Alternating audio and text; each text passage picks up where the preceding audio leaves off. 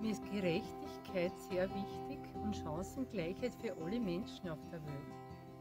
Alleine kann man sehr wenig bewegen. In der Aktion Familienfasttag erlebe ich, dass auf allen Kontinenten unsere Projektpartnerinnen viele Frauen sich engagieren für ein gutes Leben für alle. Mit viel Mut und viel Kraft. Und es ist ein total gutes Gefühl, ein Teil dieser Bewegung zu sein.